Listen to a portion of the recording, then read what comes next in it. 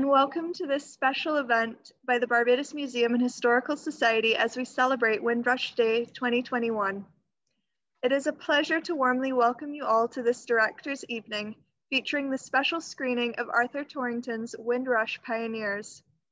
This evening, you'll have the exciting opportunity to watch the film and then chat with the film director and chair of the Windrush Foundation, Arthur Torrington, in conversation with the director of the Barbados Museum and Historical Society, Alessandra Cummins, about the making of the film and the Windrush experience for Caribbean people in Britain. We look forward to you participating in this discussion through your questions and comments, which you can submit in the Q&A panel on Zoom, or if you're joining us on Facebook, you can submit your questions in the comment thread of this live stream. I would now like to invite the director of the Barbados Museum and Historical Society, Alessandra Cummins, to give a few introductory words. Thank you very much, Natalie, and good, e good afternoon and good evening to everyone. But most particularly, uh, our greetings go to our speaker and uh, director tonight, Mr. Arthur Torrington, OBE. We are deeply pleased and privileged to have you with us this evening. And may I say a special welcome back to Barbados, even if only virtually, until we can coax you to the reality of visiting Barbados Shores again.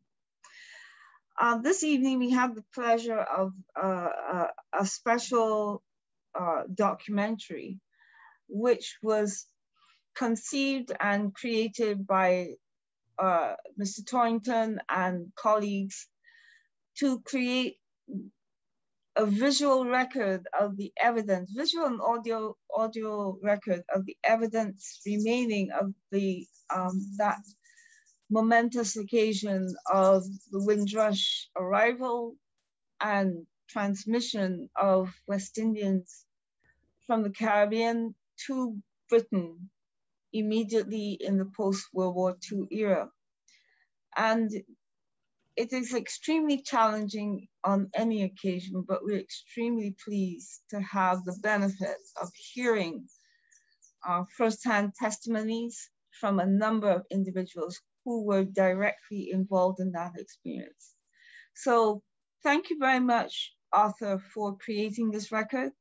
Thank you for your efforts to ensure that it was not forgotten and that it was documented.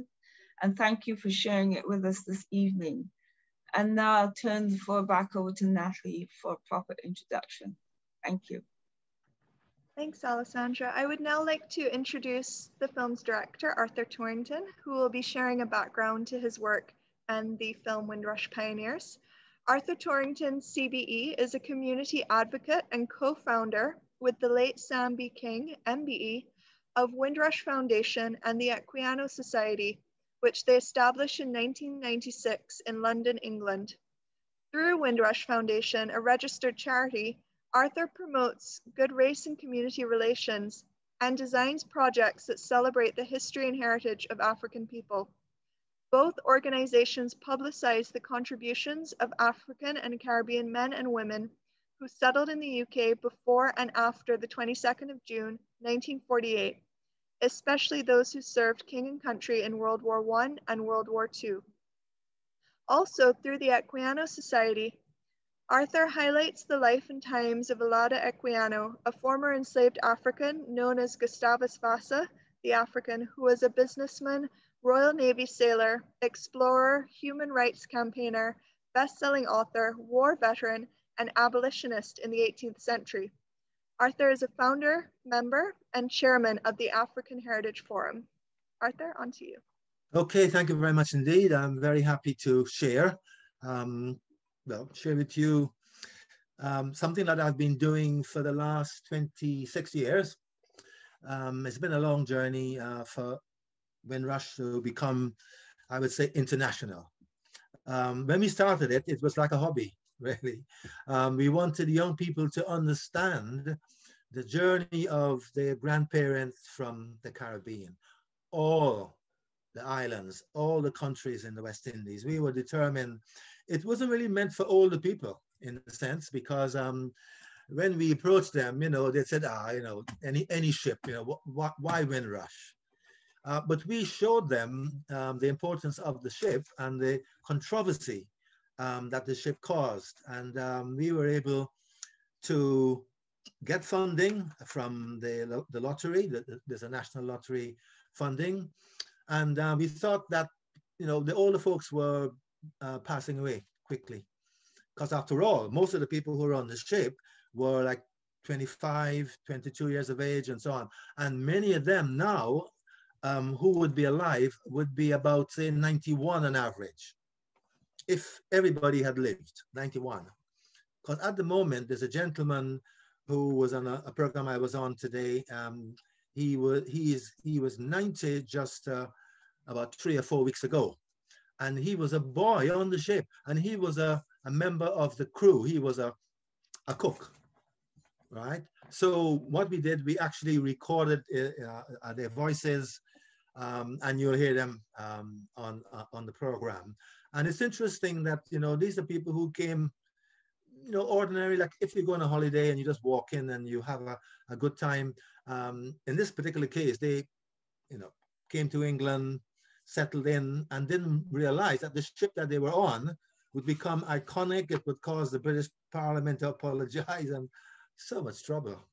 It's become political, the ship, right? It's not meant to be political, but it's just that it's political now and um, we can't stop it.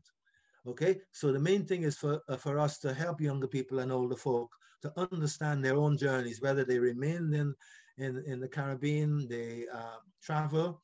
Um, in fact, we've all become one much more than before. So in a sense, you know, Windrush has sort of reunited um, the Caribbean family. All right, so let's let's hear let's hear the um, let's see the film, and uh, we can talk after.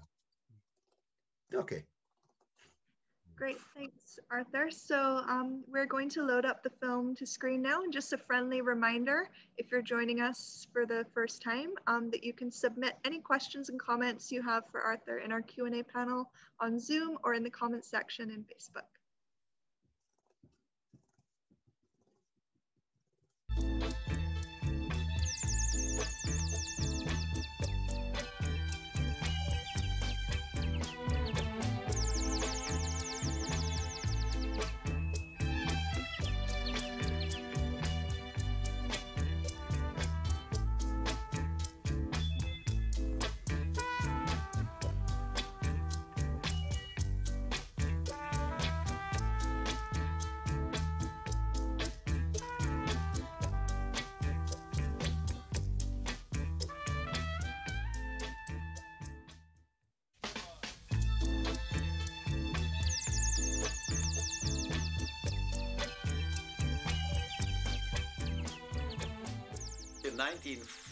1940, they were not accepting men of color into the Royal Air Force.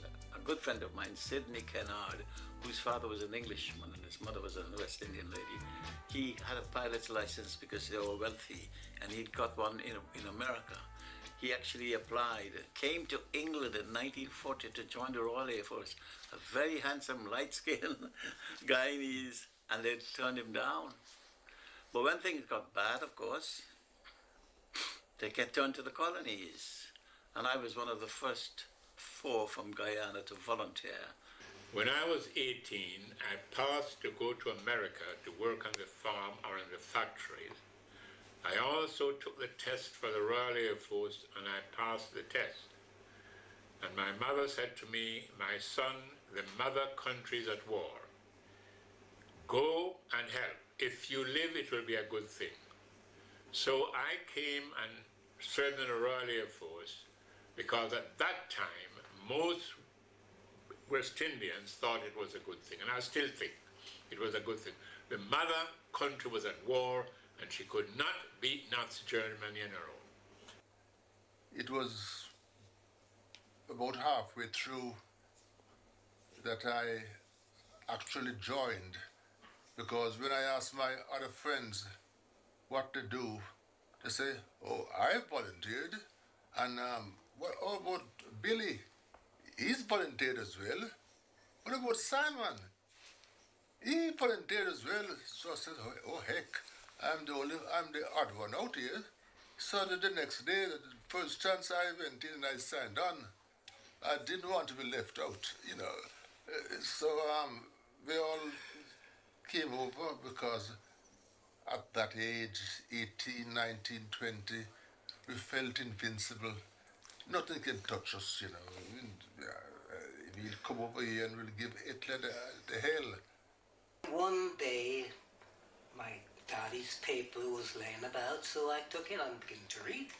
And I came across his advert that the RAF would be in town at the town hall and they're recruiting men for the RAF.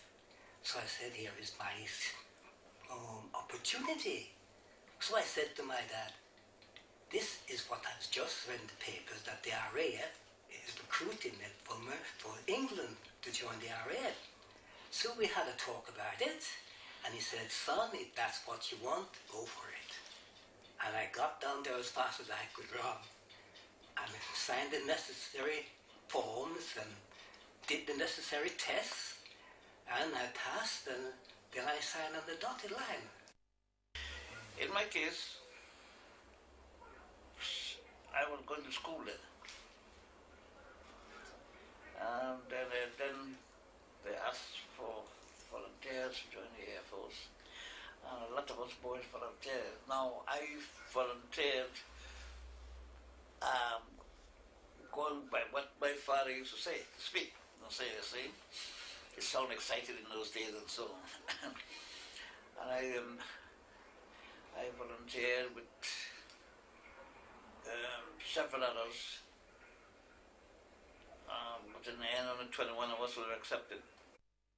Well, just when the, the war started in 1939 45, we were just out of college and there wasn't much prospective in view.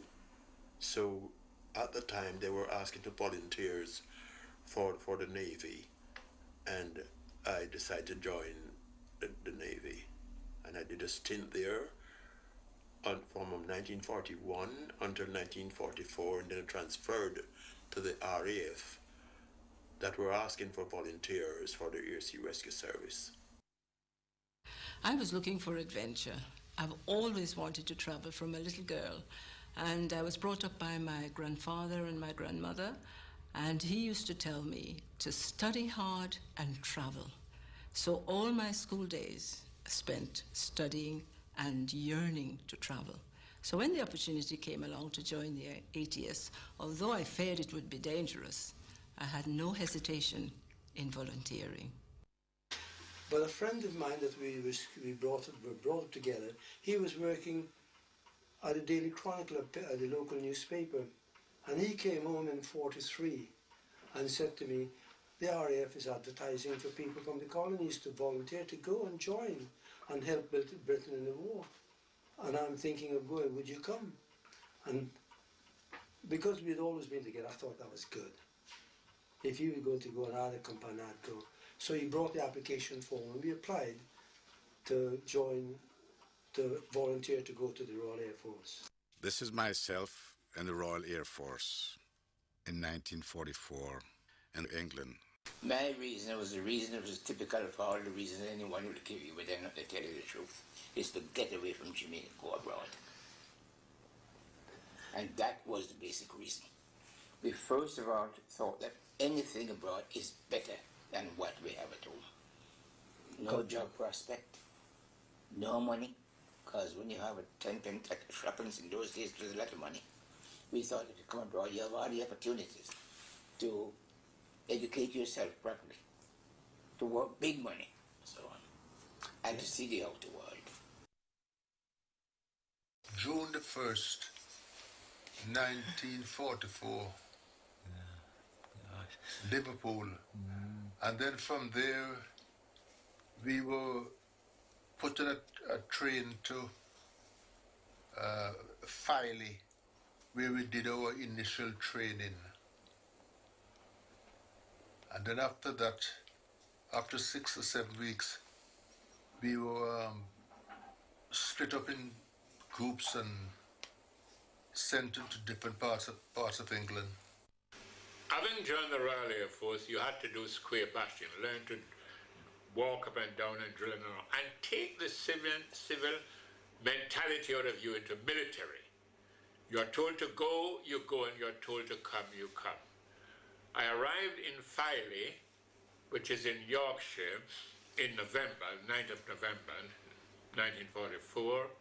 I trained for square bashing. Then I went to R.F. Hawkinge near Folkestone. And from there, I learned engineering. Now, the old-time aircrafts, which is propeller-driven, if they stop, you can ring me, man, even today, and we get it going. Not jets. I know nothing about jets. And I was proud to be British, having served with men from Norway to the Sudan. And we felt that we had to work together to survive.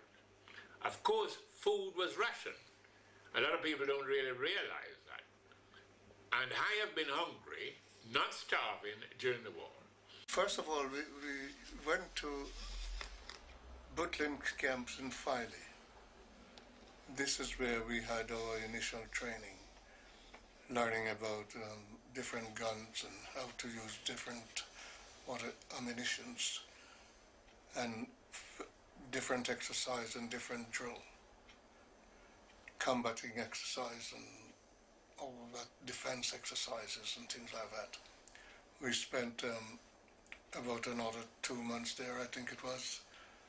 Um, we had two wings there, as a matter of fact, from the West Indies, and we had to have a certain amount of um, backup from the Royal Air Force Regiment, who were there to give us certain information about various ornaments and things like that. A typical day, it depends. You know, we had very um, different duties. You have you're on ERT rescue duty. Sometimes you're on um, uh, um flare paths. That's that's mostly night duties. You know, you got to hurriedly put these things so that the, the plane you, you make a channel for the for the seaplanes. Actually, we were involved with um, Sunderland flying boats and Catalinas.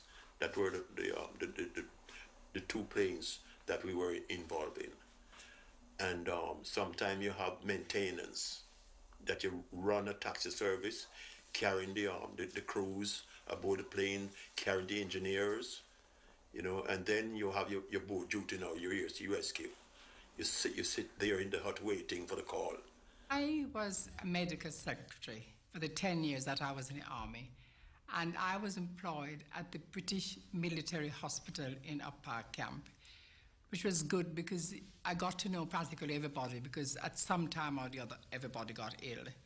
Uh, I was working in the treatment room, giving, giving out uh, the patients when uh, uh, treatment, you see, from just like a nurse and a doctor, the doctor sent you, give you the list of things that you should do, and then you have to serve it to the people then when they came in.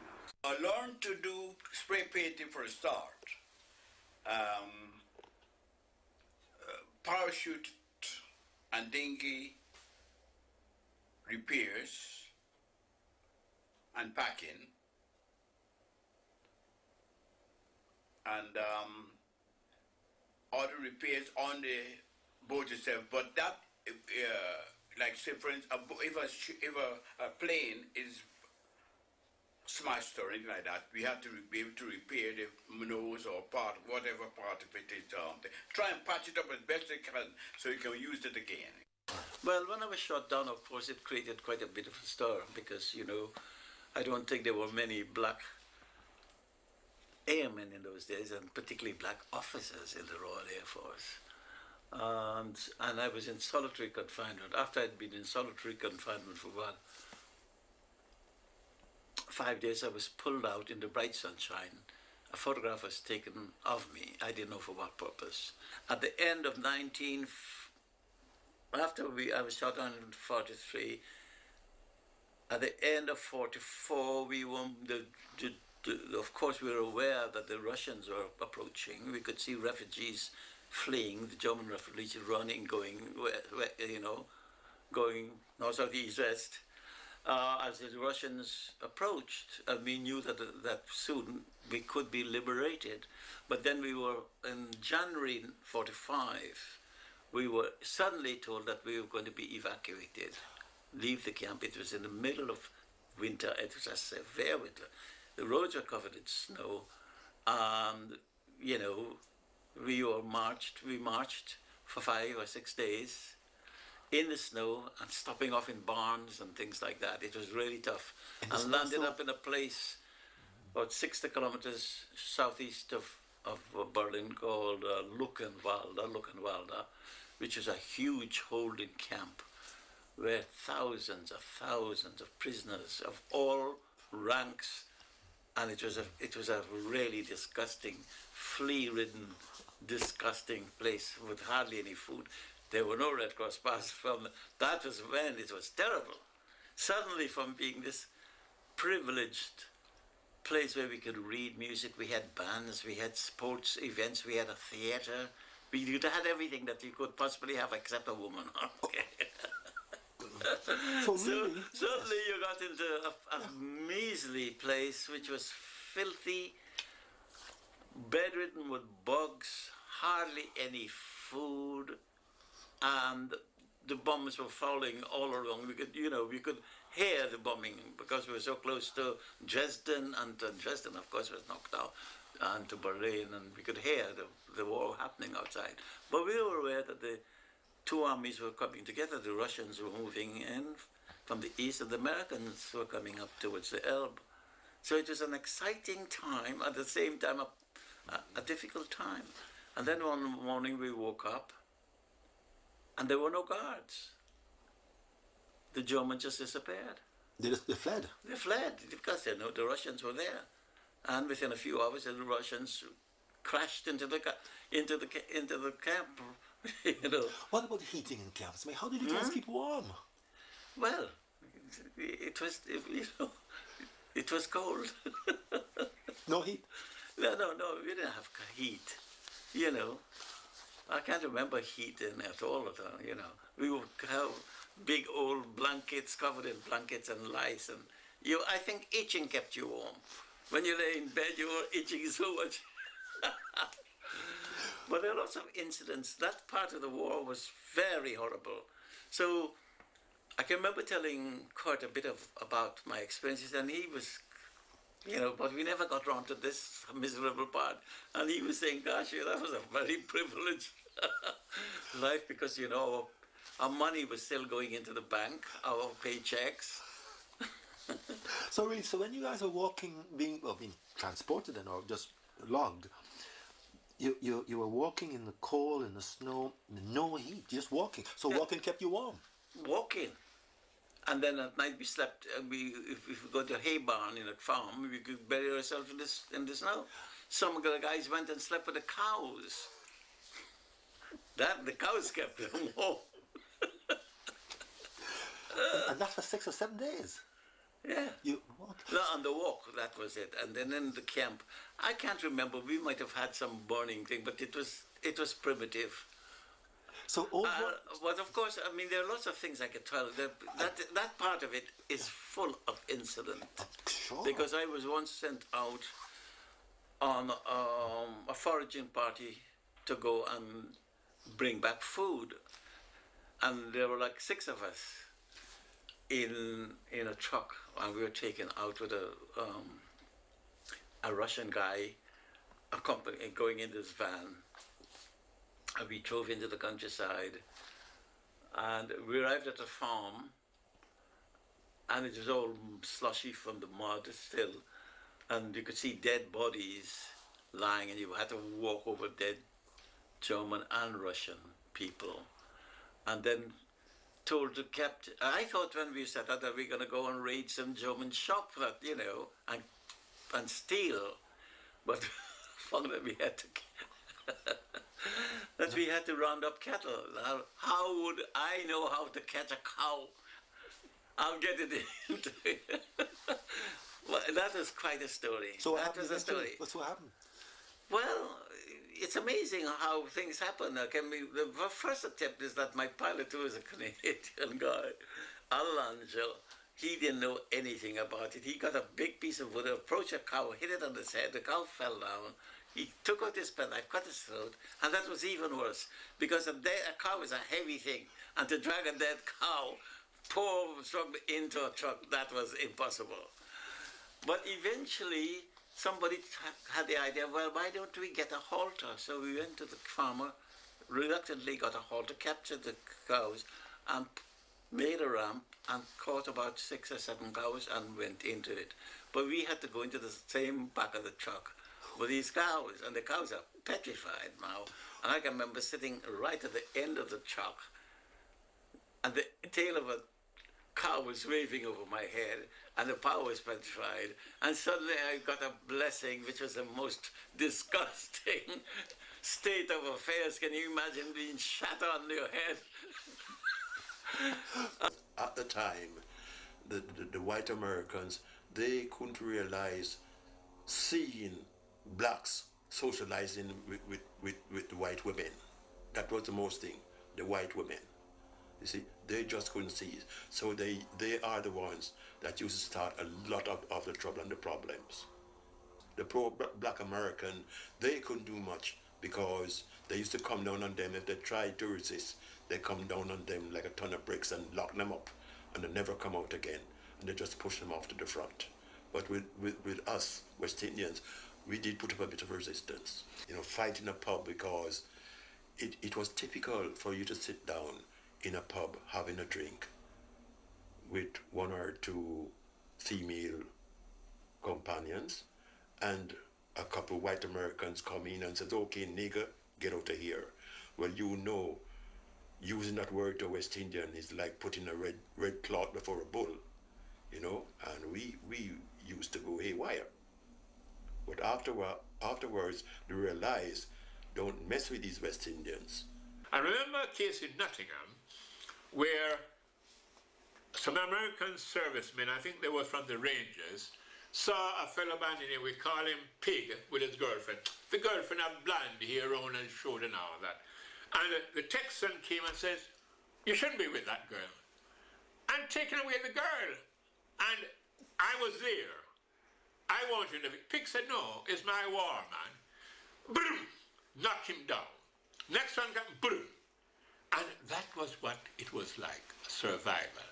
And the people, when the police arrested Pig, went to the station and says, this black man didn't do anything.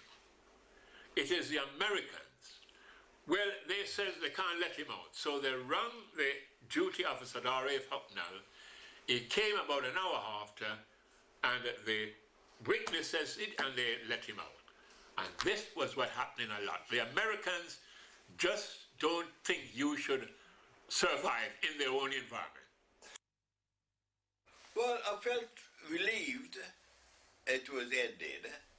And I went up, uh, when the war, you know, when the war ended in 40, 40, May 45, I think it was, when they had the V-Day, I went up to um, outside Buckhouse. Uh, we had with all the people there, and um, Buckhouse and Piccadilly Circus, because everybody used to go there, and we had, you know, meet a lot of people. Well, everybody milled around because they were happy uh, then to, uh, the wars ended. Um, but I, I after, after the war ended, I didn't know what's hap- what's going to happen, and because we had the, the big demobs uh, thing had to put in place, and um, we don't know how long. But then people started being demobbed. When the war in Europe ended, the Royal Air Force Command, um, well, they panicked and they, they, they decided to um, send back some of the men back to the West Indies, which was in fact not politically correct. Um, they weren't given a choice.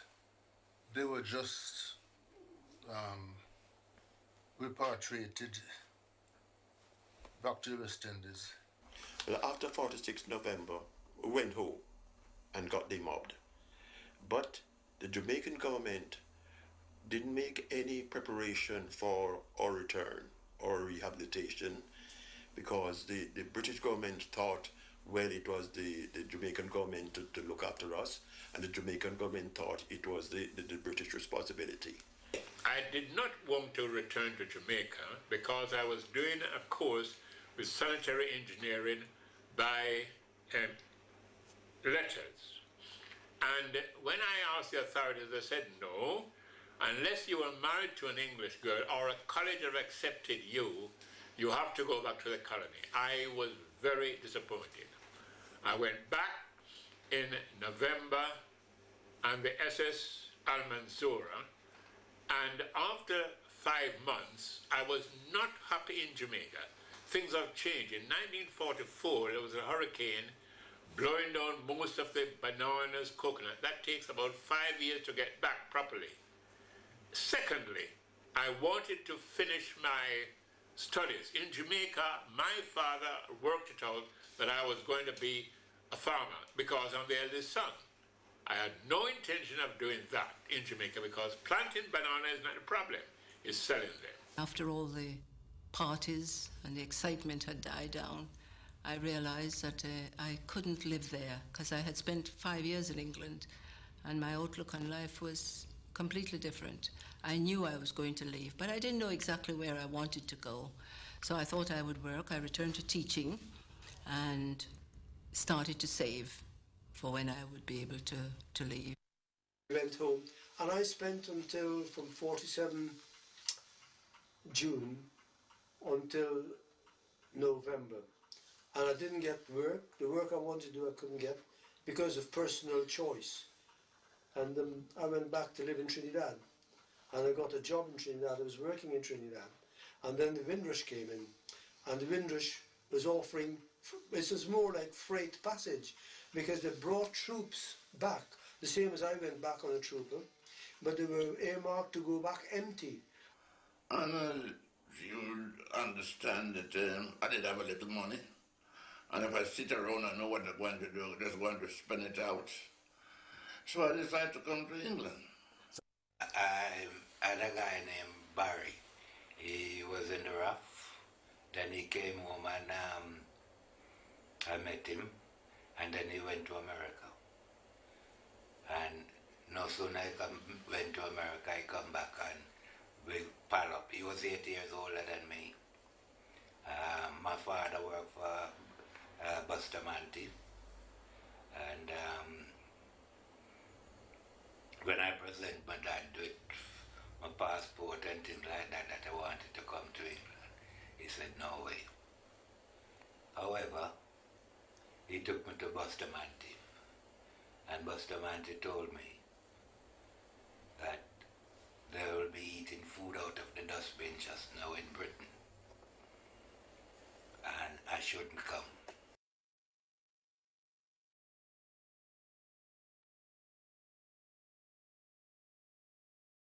This photograph was taken of me in Jamaica at my home before I left for England in 1947.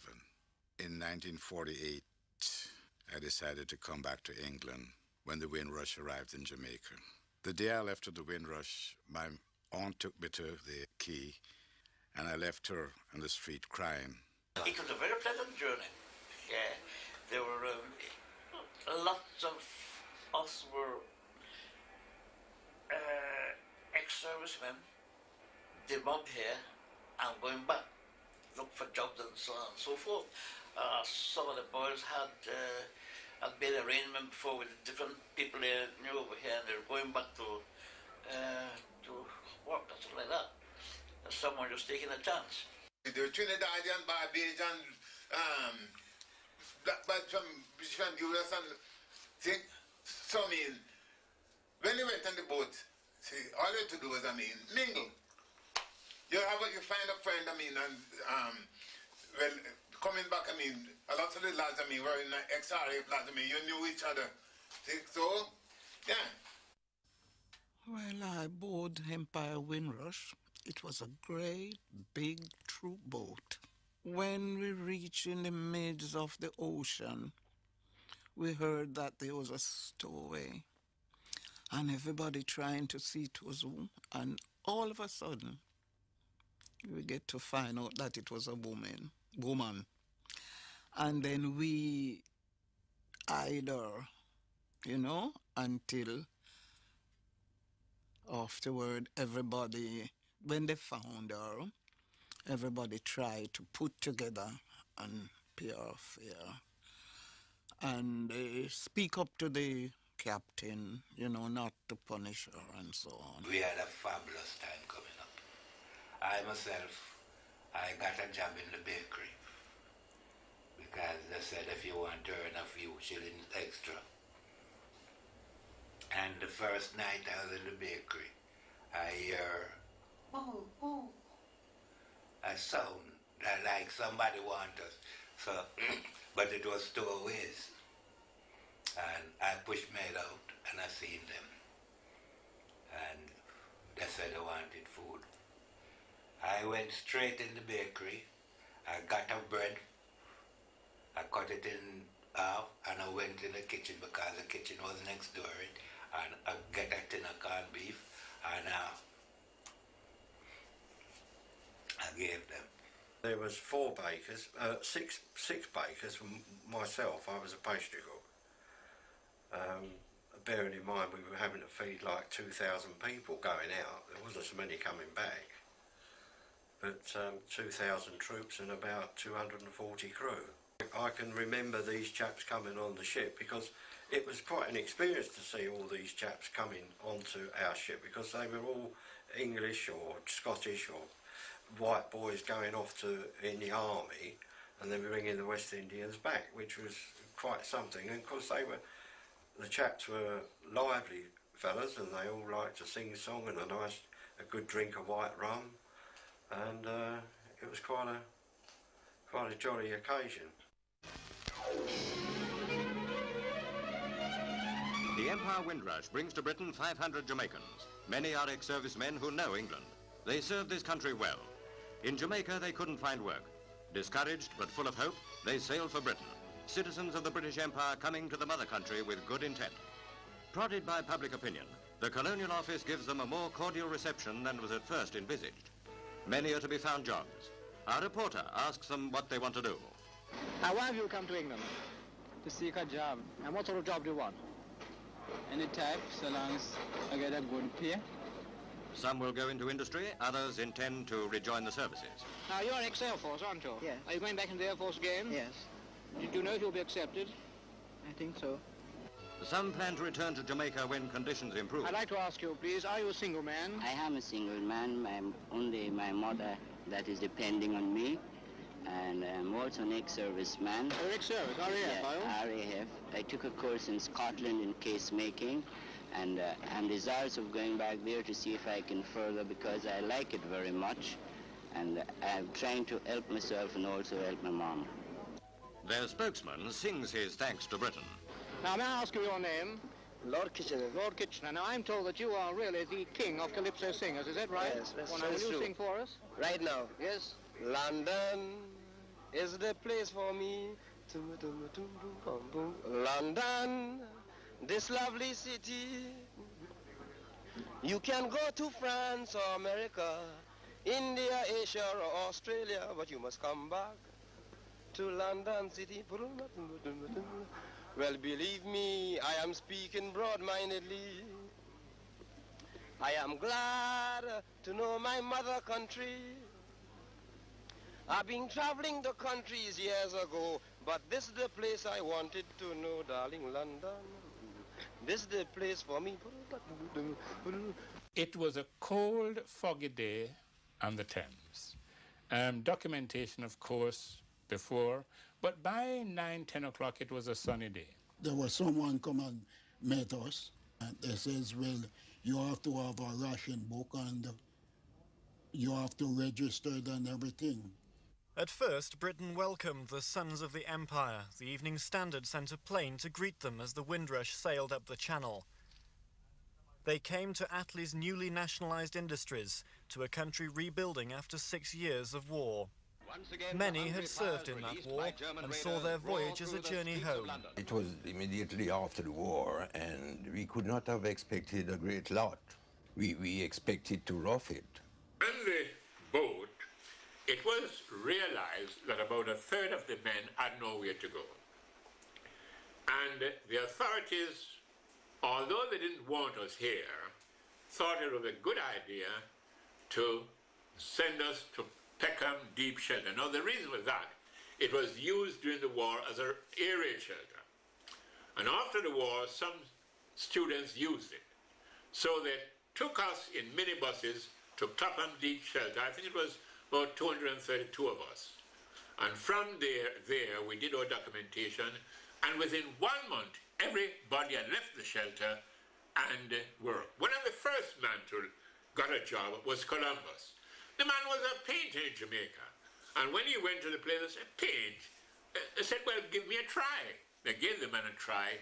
He got the job, and within two weeks, he was out of the shelter. And gradually, we left the shelter. But overall, the host nation, the people, were very helpful, even until today. When they landed um, at Tilbury, the civilians, there were um, a, a, party waiting for them, organized by the, I think the, either the Home Office or some other department. Civilians to come off the boat. Me, do you know where you're going? Oh, oh yes, I'm going to my um, relation in Birmingham. You sure know? You know where you're going? Oh yes, I'm going to Birmingham. You are. Uh, train ticket to Birmingham. Twenty pounds. Off you go. You, I'm going to Manchester. Train ticket to Manchester. Twenty quid. Off you go. Oh, oh, I don't know where I'm going. Oh, well, you stop there then. I'll tend to you after. It was difficult to get accommodation. And I remember my brother coming, came here in 1949, the year after, and I had a, him in Stockwell, and I was from the Air Force and leave, and I went to see him. We went out to our fish and chips, and I was going up back the stairs. The landlord said, no, no, you can't go up. You don't live there. I said, what? My brother says, my brother, son, that's how it is. You just have a room here, and you have to do exactly what they want. He said, but I tell you what, we should buy our own house. And this was happening all about. And by having difficulty, we had to club together and buy our own house. All right, we have an empty house, no furniture, no anything. But you could get second-hand furniture. And most of the traders, if you keep your nose clean, would let you have pillowcase, blankets and all that, and you pay weekly. And today, most West Indians by 1982, especially Jamaicans, own more property than the host nation because in those days, the host nation lived in a corporation house or in a council house. It's only of late they think of buying their own place, but we had to. So the, the civilians were put in, in private accommodation. They didn't stay there for long. Uh, two or three weeks, the longest, uh, and they were all out because they didn't want to linger. You know, they found themselves jobs and accommodation. I was there for about two weeks, I think, because it, it, it's a extremely deep place, you know. Because it was when the um, the northern line running in the morning wake us up because it, we was below the train line. That wake us up, and then um, we used to come out in the day and go in the park, and then we used to walk from there down to Clapham Common. That picture was, took, was taken while I was off guard, actually. I didn't realize that it was a photographer from the Evening Standard who took that picture. And I, I didn't realize I was on, on camera. I was there, and a Guyanese boy living up the road in Balham came and met me, another ex-Air Force type. He said, um, Oh, Harry, come on. You don't have to stay there. So I said, where I go? He said, Nan, he called, called his landlady, he called her Nan. Nan has got a room, I'm certain she'll let you have it. Come with me and I'll introduce. So he took me up and I met Nan. And Nan says, yes, there's a basement room there you can have. For a period, we used to sleep, um, three of us, you know, um, moving around together. And we used to sleep on the tube, get the last tube. And end of the line, some of the tube men that were ex-servicemen used to have pity and lend us blankets and all that. And that's the way we used to survive. And we used to come come back in town and walk around, walk around in town, looking jobs. Most of the houses, one in ten houses in a bath. In 1950s or so.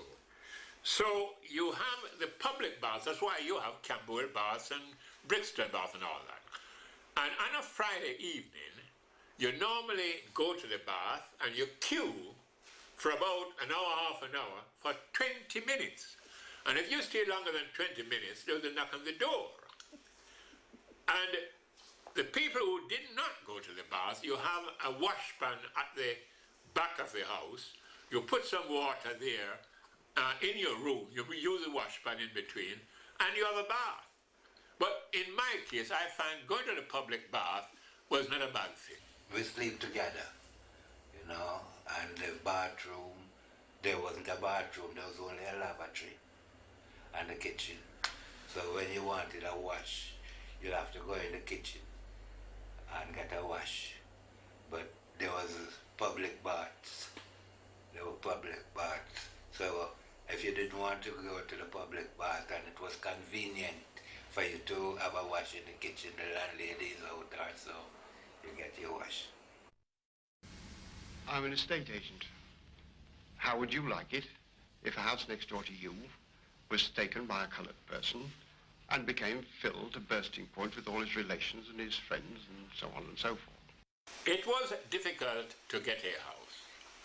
I remember seeing a house for sale, 9 Sear Street, went to the bank. The bank says, no, you haven't got a bank account. I said, I've got a post office account. They said, anyway, we can't lend you the money. And this was happening all over. I was in the Air Force. I took the letter to the seller. He said, to think that you have served in the Air Force, you're in the Royal Air Force now, and you have got the deposit. And they would. We will lend you the mortgage. They lent us the mortgage for 10 years. We paid it off in five. In those days, there was a lot of discrimination. People don't want to accept you. And uh, many um, doors have been slammed in my face, you know, looking for rooms and all those kind of things. Most of the jobs that were offered to us as returning from the West Indies, or from Jamaica, I should say, was the most menial jobs. I remember going for a job at uh, a bed and breakfast place as a dishwasher. And after the lady interviewed me, she called her husband upstairs and said, Do you want in the dark his work in here? His reply was, No. I came out of that place crying. I could not realize that people could be so disgusting that the, the, the, an ordinary job as washing dishes was refused. During the war, we came here to help. After the war, their attitude was that we came here to take their jobs and things away, if not their wives. The general consensus was it's um they were only suited for the broom and menial jobs. So everywhere we saw a vacancy and went there, they said sorry, you know, we, we we haven't anything but a cleaning job or, or something to do with the broom. I had a straight to Leeds.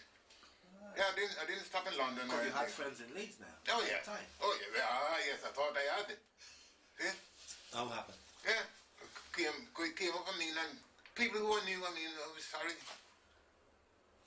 Black guys or what? Right. I mean, well, I mean, I just don't know black people.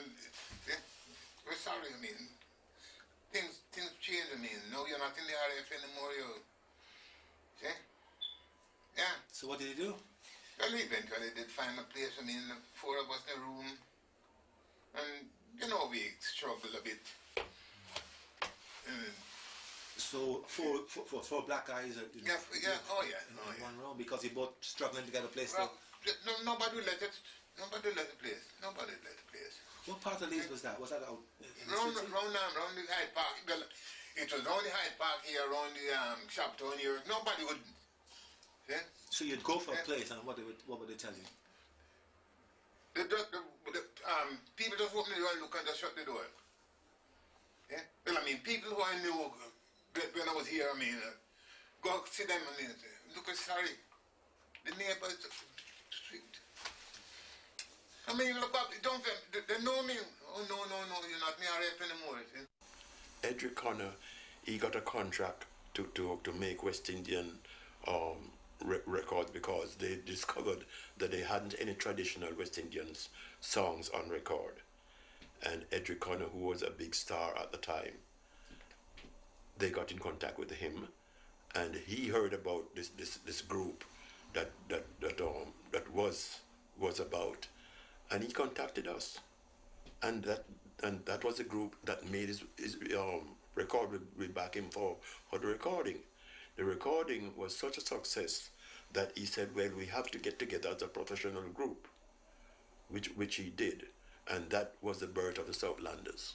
When I landed in this country, I had five pounds in my pocket.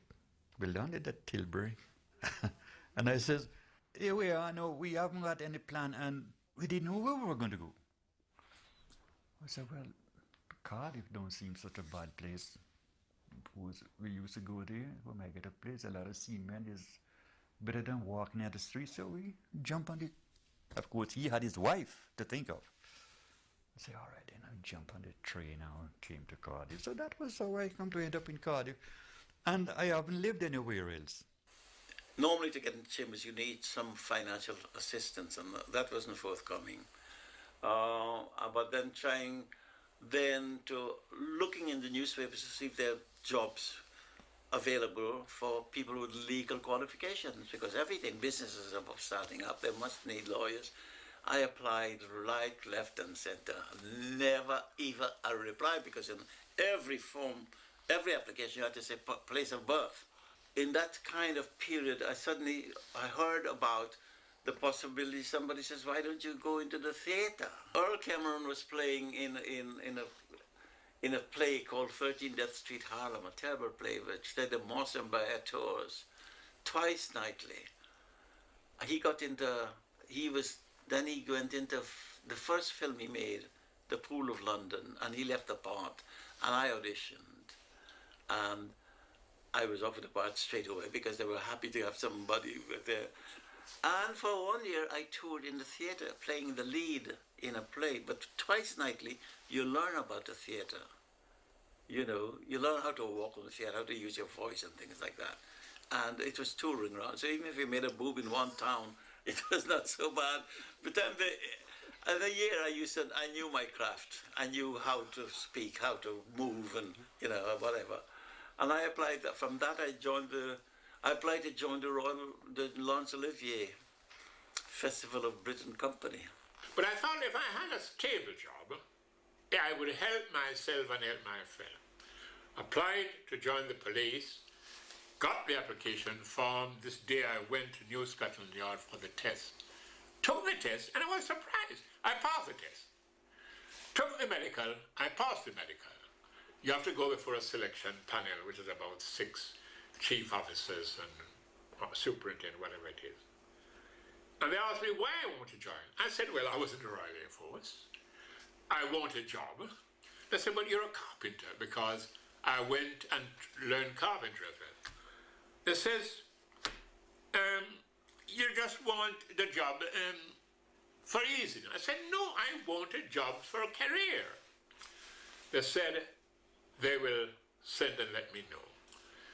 Four days or so after I got the letter, they are very sorry um, I could not join the Metropolitan Police. I was disappointed. I lived that in 1983, the commissioner of the Metropolitan Police asked Sam King with a gold chain around his neck to get black people to join the police. My first job was um. My first job was as a a spray painter at a garage. nearby where I was living.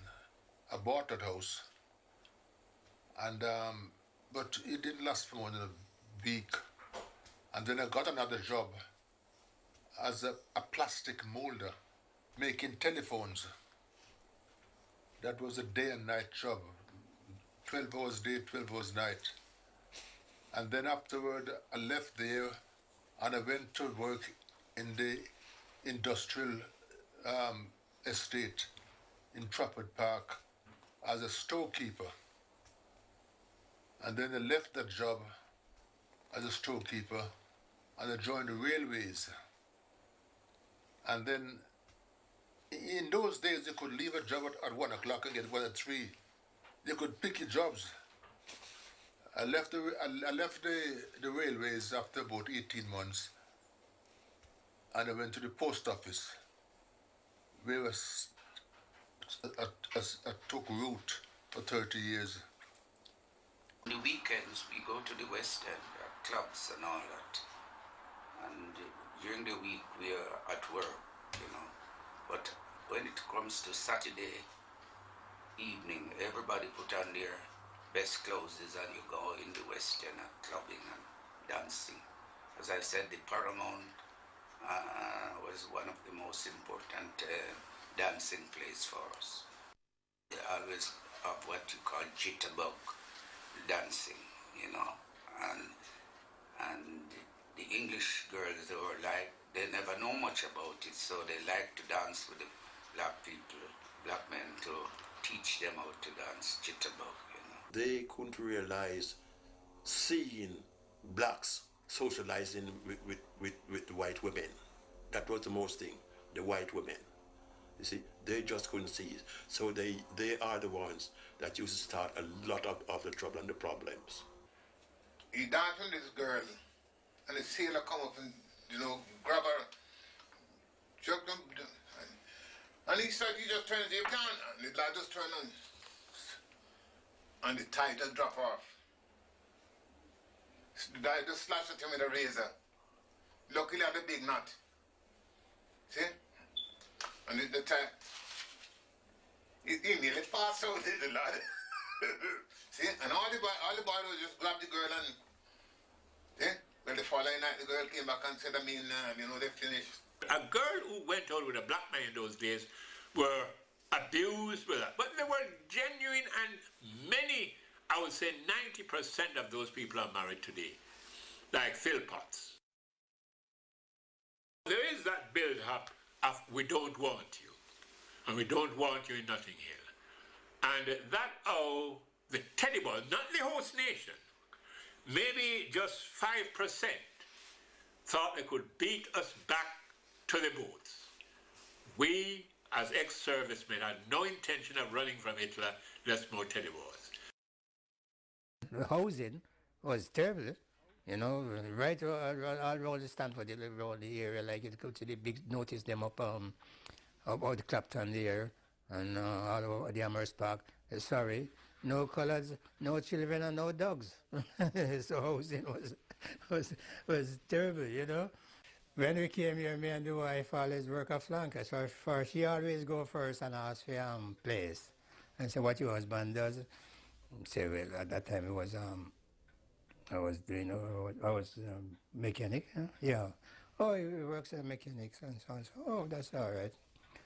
Well, then she already arranged for the house and uh, what have you and pay down and all that, so they couldn't um they couldn't say no again, you know. So when I turned up, it was oh, I was, surprised, but some of them was surprised, but I didn't show it, like you know, I didn't show it. But um, I know that wasn't um, too key, you know. I can tell you one instant. I saw the advert. We just got married. And I phoned this lady. She said, Yes, come along and see the room. I made myself very clear, but she could know my accent that I'm a foreigner. But she didn't know that I was a black foreigner. She thought I was a white foreigner. That's how I put it. So when I went, to come along. I was there dead on time. I rang the bell. And this lady, when she came out, You know, she was sort of frightened when she saw a black man. I said, Madam, I was the one who phoned you. I came about the room. Oh, you know, this sugary excuse. Oh, I'm so sorry. If you were here five minutes ago, you would have got it. But I said, Madam, you told me to come along, so you couldn't get, tell you what time I would be there. And also, I'm a bit early. And where was this? In the tooting area. So when I said, and I said, Madam, furthermore, I'm a bit early. But I said, look, I said to her, I said, can you see that telephone booth there? She said, oh, yes. I said, look, madam, that's where I was phoning from. And then I didn't see anyone come to your door. And yet you're going to tell me that. I said, why can't you be truthful? Tell me you don't want. She said, well, to be honest, I don't want any black person. I thought I would upset you if I said, I said, no, not me. It's your place. You please yourself who you want as tenant. But with me, I like the truth. We wanted to form a start-up cricket club. I'm going back now to 1948 when I came back. We wanted to start a cricket club. We didn't have enough men in Leeds to form a cricket club. But I mean, we went down to Sutcliffe. Myself and a chap went down to Sutcliffe. We had arranged for everything, in the bat, balls, every, all the gear. But we want a higher purchase because we can't, we don't have enough money to it. And the man said, oh yes, there's no problem. I have it all of it, every, everything done. All I've got to do is go into Dave, Saturday, to collect the gears and uh, pay him so much weekly. And when, and we went in here, and the man said, oh, I'm sorry, but you can't have it. Why? Why? The boss said, no, you can't, can't, can't trust you people. That was what, what the man said. According to the boss, he can't trust you people. I said, what do you mean can't trust you people? He doesn't know us. West Indian play cricket, man. Oh, you asked that. Um, most of us would join a cricket club. In my case, the last cricket match I played, um, Johnson, who played for Essex as a wicketkeeper, uh, just before, and I opened the batting. Dewes, who played for Cambridge and England, was the umpire. So I had a rough idea, but there's another side to it. Where I come from, Patterson grandfather, Sampy, taught me cricket. Well, Patrick Patterson was one of the West Indian fast bowlers, so I can't blow my trumpet, say I run in good race. I had my wife with me then. We came over and we went to the Chinese place and we sat to lunch, have a casual drink and so on. The stops came in and uh, wanted us to make fuss. Make fuss all the time. And uh, that was not on the first occasion anyway. Myself and a Jamaican chap in what's um, The name but we're in Singapore. He had his wife and I had my wife. We went to this place, this place and, uh, and we had to fight the way out. had to fight the way out all the time, yeah. You came and was like making trouble, but what, what was he accusing you of? They haven't got accused of this. They see you with a head. if they see you with a head in an English woman, even with your wife or not, they don't know if it's if your wife or not. Uh, they're very, very prejudiced, stupid. My wife, when the parents um, knew that we was going out, actually she was pregnant. And um, her sis, I, I had a friend that came to me and said they, they want to put her in a home. So I put on my clothes and I went to her house and I knocked the door and they let me in put my cards on the table. I said, not because I'm black. You may think that I can't take care of your daughter. And as soon as I'm 21, I'm going to marry to her. You know, and I did marry to her at the age of 21. To be fit and proper to become a JP. So I nominated three other fellas who were my seniors they were all munition workers and they came here before me. So I thought it's proper to nominate them. That was Jackson, Clark, and Dalton. To my surprise, they says no, no, no, you go. So I, I, um, I, I couldn't back down. So I, I took up the mantle and, and became a JP because they insisted that they don't want it, so I, must have it. Yes, my um, next door neighbor, he um, came to me and said, suggested that uh, asked if I would like to um, go on the um, the council, the town council. So I said yes, and they came down, they interviewed me, and I um, was um, co-opted into the um, the council. Next election, I was um, elected, and um, I then became um, deputy mayor to um, on the Jamaican, who was mayor. I came home one evening. The Labour group says that they're going to make Sam King the mayor. I said, what? Mayor is a long-term job. Well, as it worked out, the man who should be the mayor that year got drunk at a party and the South London Press have his picture stumbling all over the place. They want a safe pair of hands. I got home about 10 o'clock, my wife was in bed. I said, Mayor, you know these people are stupid. They say they're going to make me mayor. She looked at me in my face and said, Sam, you're disciplined, you're capable, you could do anything if you have any ambition, but you've got no ambition. I said, well, I have to have a little ambition, you know. A year after, the Labour grouping selected me as a mayor. Now, once the Labour group select you as the mayor, you're there. Because the opposition, we were about 44 out of 62. So the opposition only talked. But give them their due, no one opposed Sam King as the mayor because my background was Royal Air Force. My background was with Claudia Jones, God rest her soul. I was responsible for the finance for the first West Indian Carnival. I was a member of the ex-servicemen. So I've done my little bit and I've done my homework. It wasn't until Tom Dowse Jr. was about 16 years of age that he realized the significance of the arrival of the Empire Windrush and the role his father played in the Windrush story. I've always known that he came here as one of the first civilians after the war. Uh, the first time I was aware of exactly when, I would probably be about 16 because it was coming up to the date because I remember him saying that he left in May 48 and arrived in June the same year. And I say about 16, 17 when I sort of began to realise the significance of it and why he came here and he, when he came here never intended to stay very long. I always remember him saying everything he ever intended to carry in his life was a suitcase. It's the next thing you know, he got married and got children and all those plans went out the window.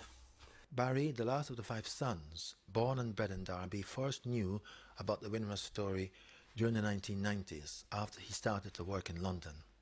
His father told him about his stay at Clapham South Deep Shelter. Uh, he was one of those that had literally nowhere to go. He didn't have any contacts over here or any family, and uh, quite a number of them were put in a deep shelter at Clapham South tube station. Now, unfortunately, he told me his first night there he had his wallet stolen, so it wasn't a great uh, welcome welcome to the mother country, especially as uh, if I remember correctly, they'd been outside Tilbury for a few days whilst it was debated in Parliament regarding that, and I'd even looked into it. And on like the Public Record Office websites, you can see the government papers discussing what was going to be done with these few hundred Jamaican immigrants. The local labour exchange had about various jobs, and one that struck him why you'd have to really ask him was working in the foundry in a town just outside of Derby called Ilkeston, Stanton Staveley, which is one which I don't think exists anymore, but it's a well-known foundry. And he took the job up there. He, he took the job up there. Why? It just seemed to attract him, and he, he was he he moved up to Derbyshire pretty much soon afterwards. But on his arrival in Derbyshire, Tom had some difficulty finding accommodation. A lady come out, opened the door, and opened the front door and I says to her, I've seen in the paper, because I've got a telegraph in my hand, I said, I've seen in the paper that you've got a lodging here. She says, oh yes, nice lodging, will you come in? And when I went into the hallway and she turned the light on and see I was colored, she screamed like I was, you know, going to rape her or something like that. She says, oh no, please go, please go, I can't have you, I can't have you, please go. Just like that. Tom Dowse was a clever businessman. Dad always had the attitude that if you in a, in a country like England, says you've got to make sure you, you you serve everybody. So what he said was that obviously Jamaicans would come in because of him being a Jamaican. What he needed to do was to get the English people to come in. So what he would do, we'd put things outside like Daz soap powder and that sort of thing to let them know that we sell what they want. And we also do used to have very good trade with the Indians.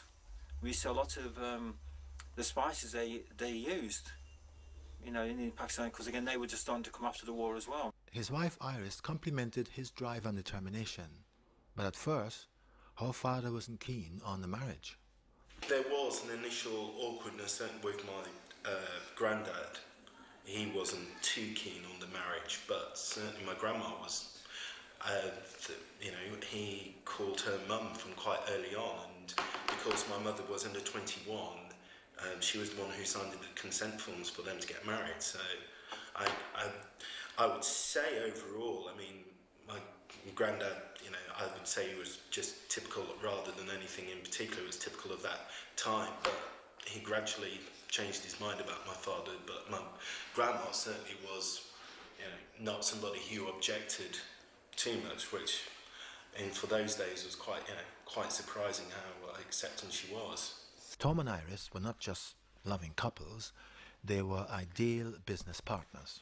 If you think about the period when they first met and they got married and as well started uh, creating businesses, that was very uh, sort of very standout mixed race couple that were running businesses like that in a town like Derby. So I mean, again, they sort of set an example of you know, it's other people's problems if they you know, don't accept you, just get on.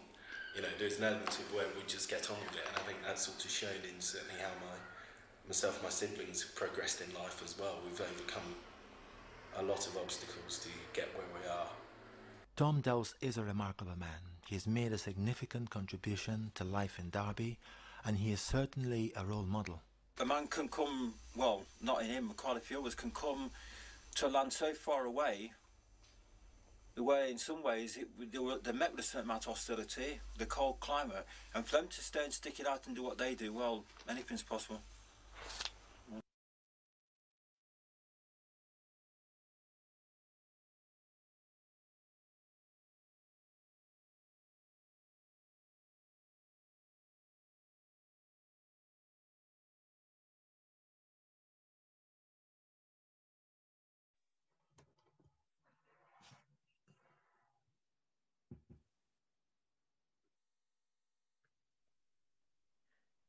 Thank you, Arthur, for sharing this incredibly important film filled with so many fascinating and interesting, moving personal histories.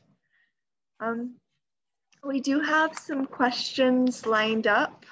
Hey. And the first, so we might jump right in.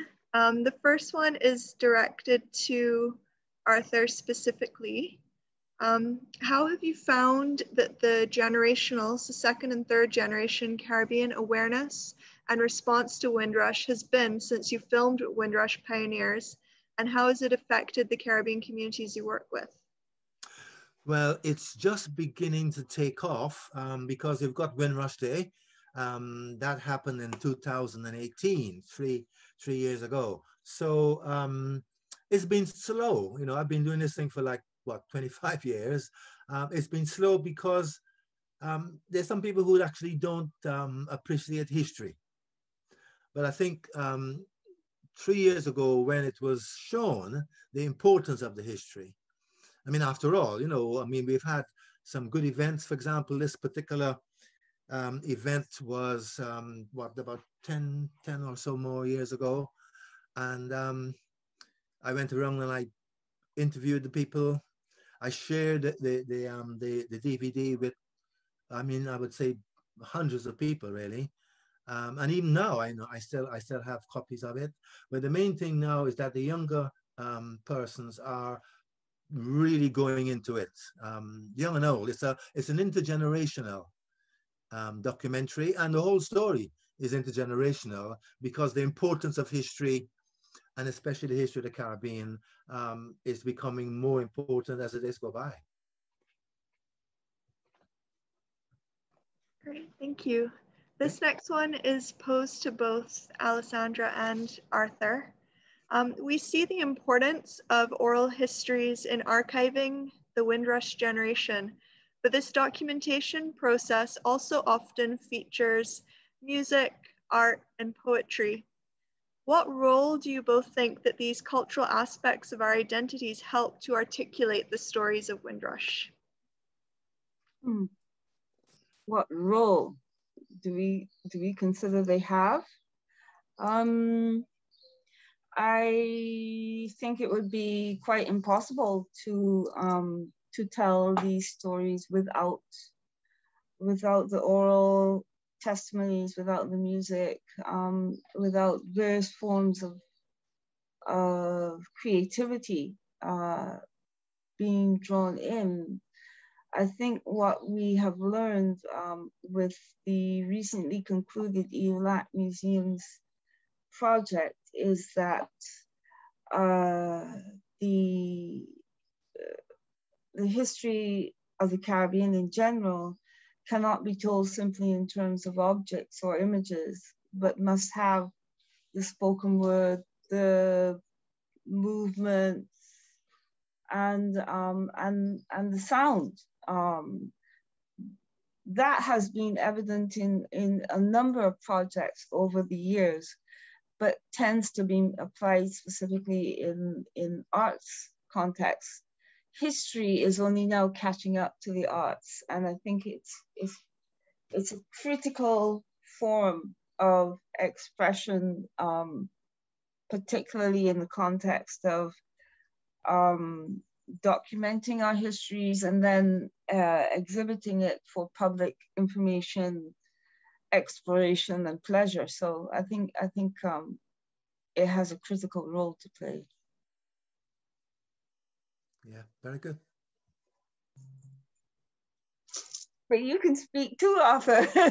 well, I mean, yes. I mean, I I, I work um, with museums. I work on, as you remember, uh, uh, uh the Dock, Docklands Museum. You you were there a few times, and mm -hmm. and then uh, the Black Cultural Archives.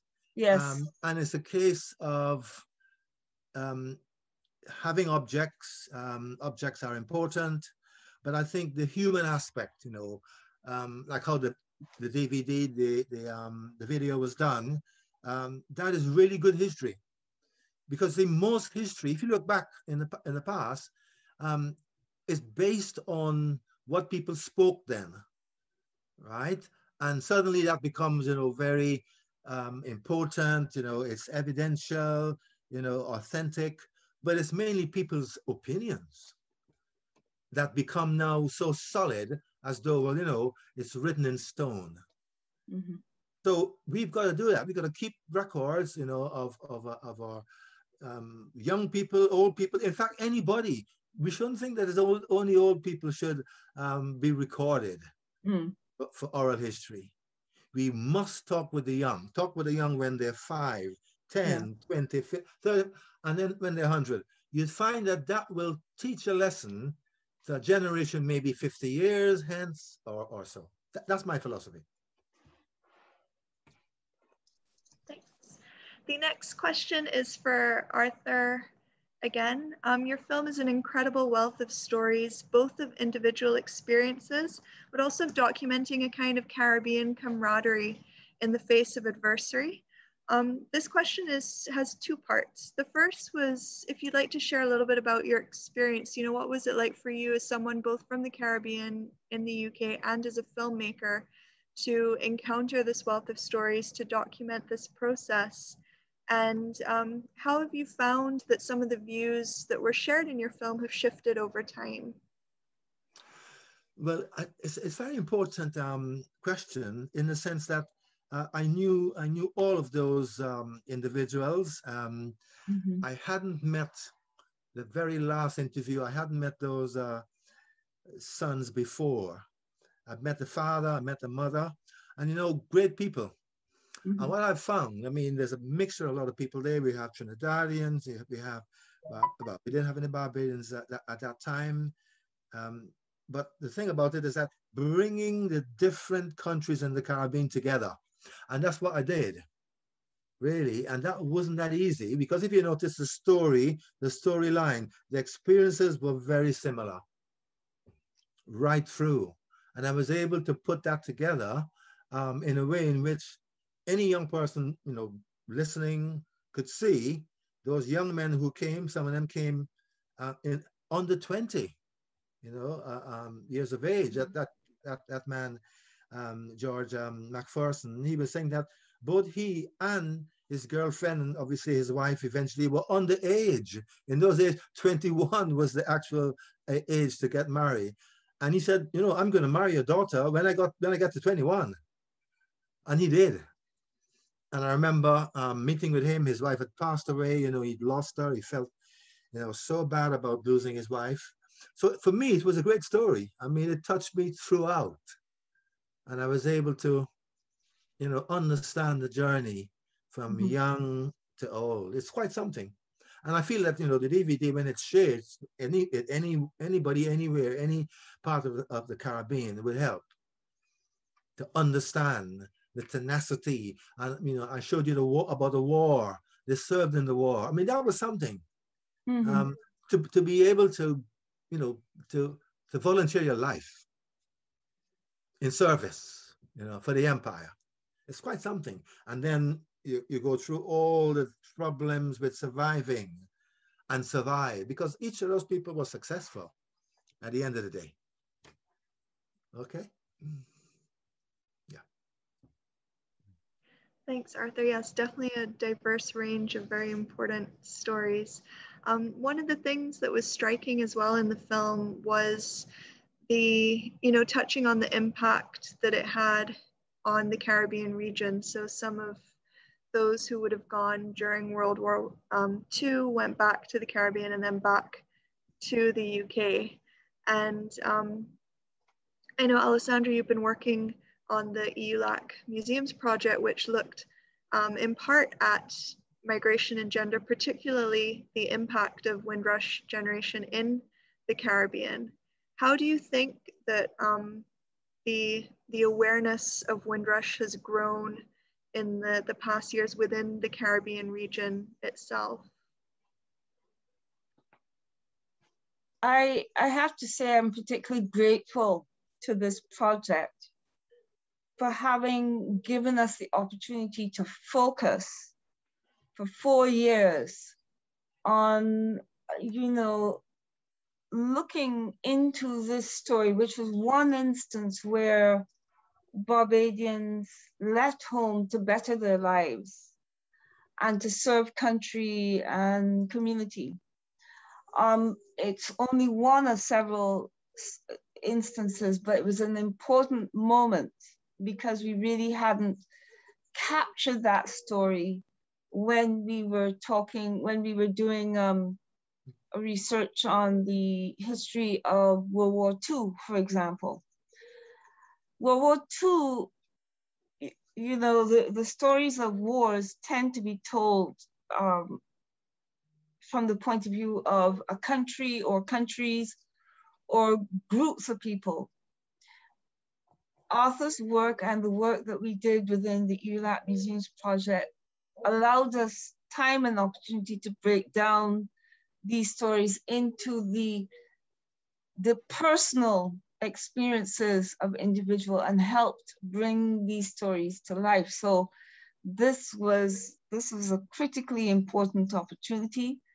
Um, too many times uh, history is told from one authorized perspective, and here it is that we had many people um, telling us what they experience, and and the experiences are true because if you match them to the history books, we've we've read stories about people um,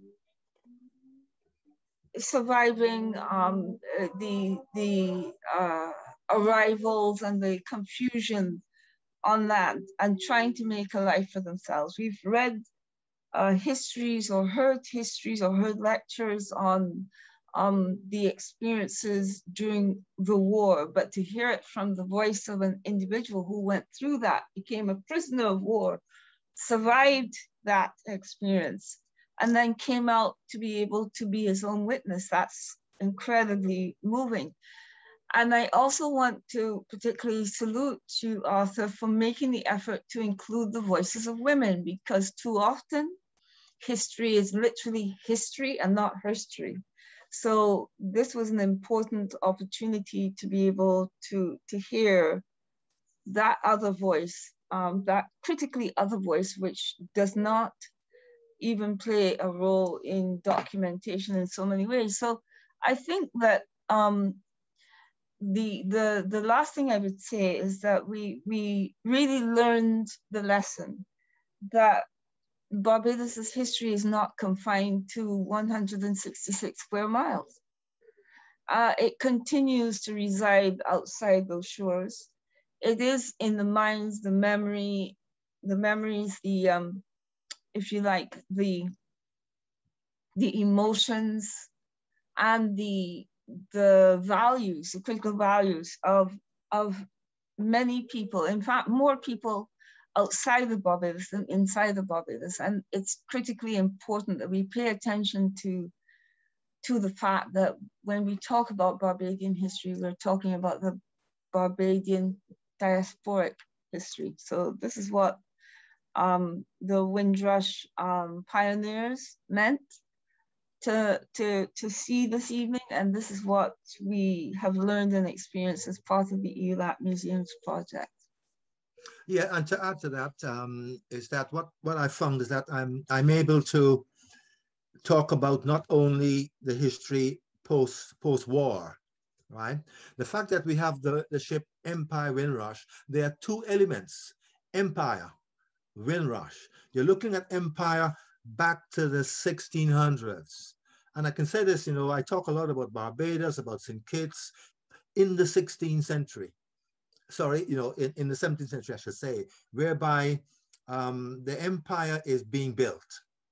The empire is being built on people of obviously European and African um, uh, uh, uh, on, on their back, so to speak, but more so on Africans. I mentioned that specifically to show that were it not for that particular, um, I should say, uh, aspect of the history whereby You've got Africans um, being taken to, to the West Indies, um, serving and making Britain a power, a power of the sea.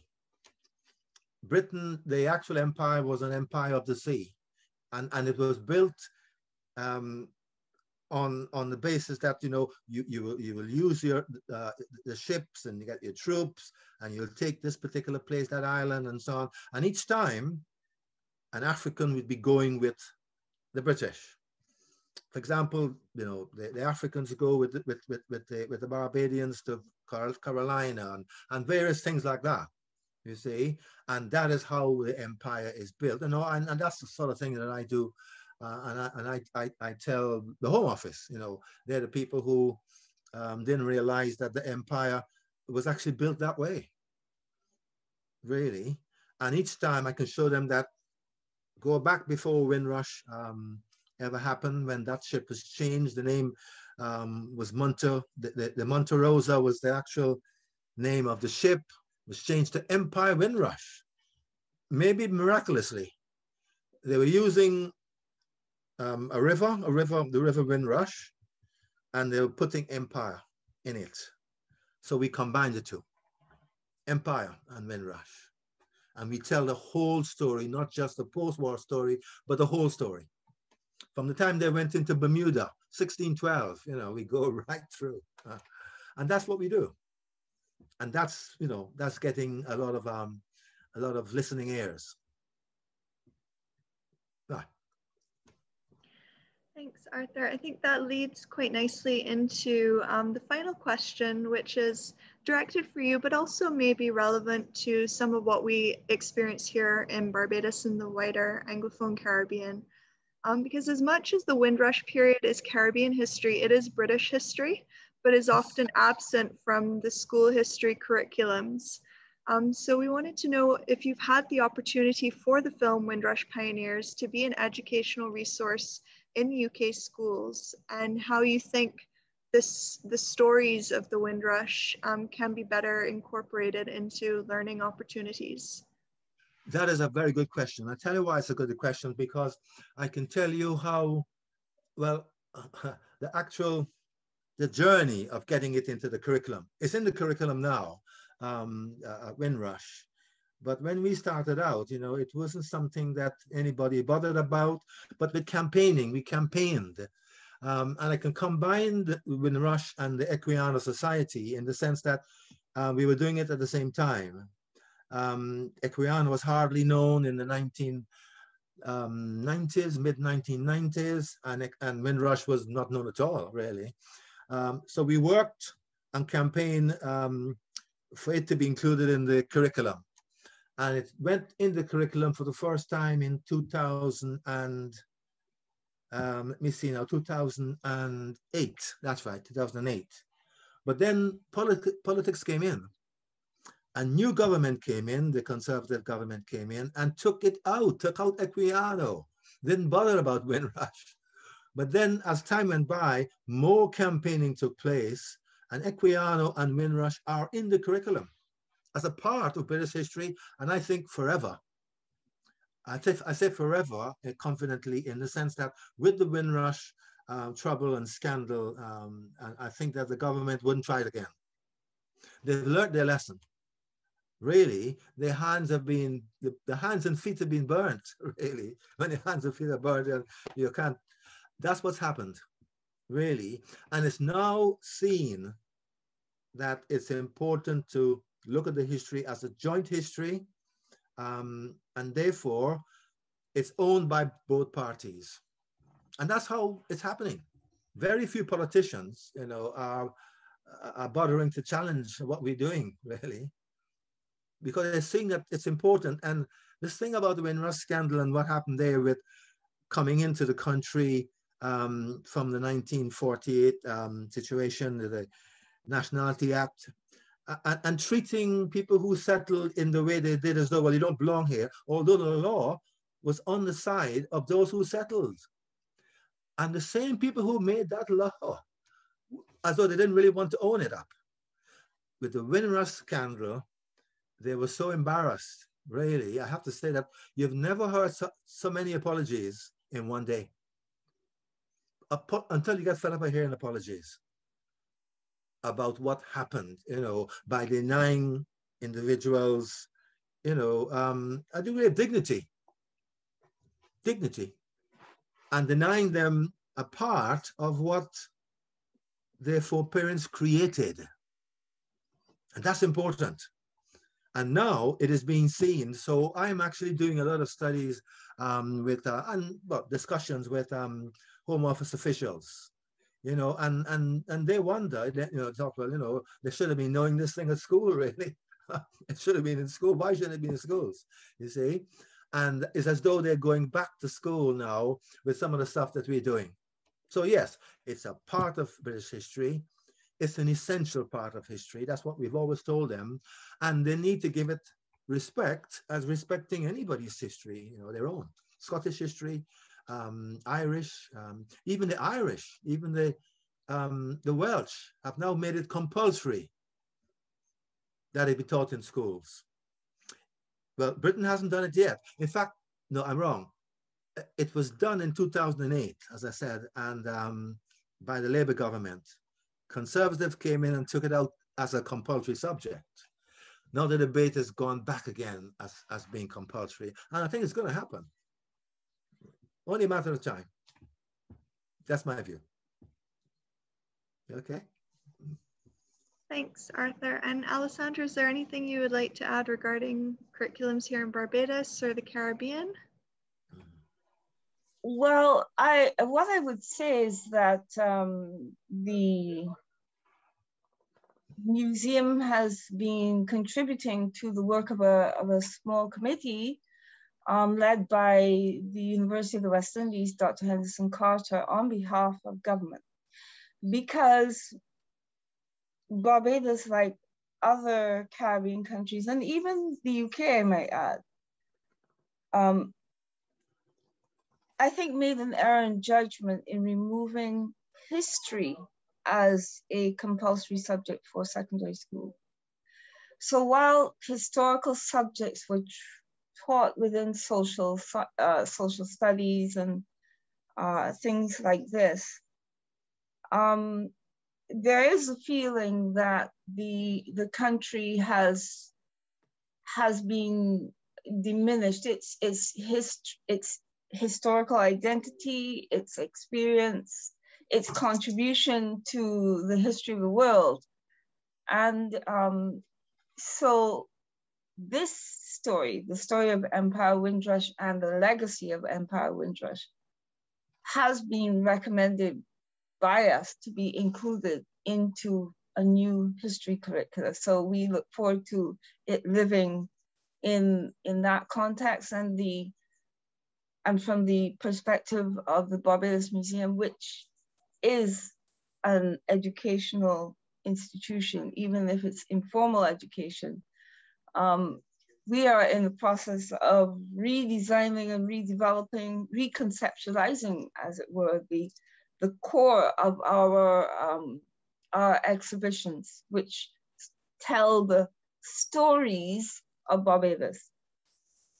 Empire Windrush and that whole experience, that whole uh, sequence of migrations which Barbados experienced, but which led to us being uh, linked to different societies around the world, is incredibly important to make sure it is a central part of the new exhibits that we design um, in conjunction with our community members and as they wish to be as they wish their stories to be told. So that's, I think, both the formal and the informal, if you like.